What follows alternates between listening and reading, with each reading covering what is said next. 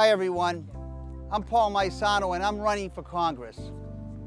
There are a great deal of reasons why I'm running, but right now I'm running because of all the people that need a representative in Congress that reflects their interests, the middle class, the hard-working people that are out there day after day, week after week, trying to stretch those dollars, trying to make ends meet.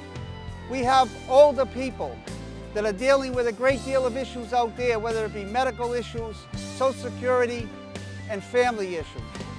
We have young people, the youngsters that are coming up, the next generation, the next generation of Americans that we're going to help through various programs.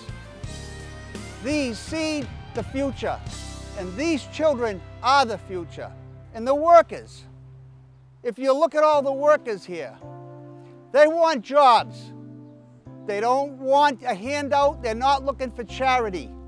They want an opportunity to earn for their families. That's what we're all about in this campaign. You don't see us with shirts on because we don't have money for shirts. It's not about power. It's not about money. It's about people. That's what this campaign is. When you're in the streets looking at people working and you see people out there, whether they be service people at a gas station or bringing the mail, those people don't need a shirt to tell you that they're hardworking middle class. And they are why we're here today and running for Congress. And we need your help.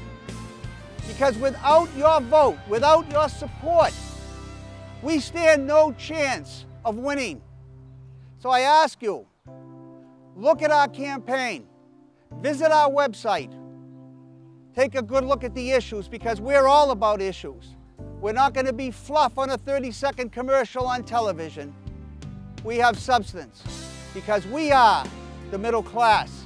We are the hard-working backbone of this nation. And we are looking for jobs and opportunities.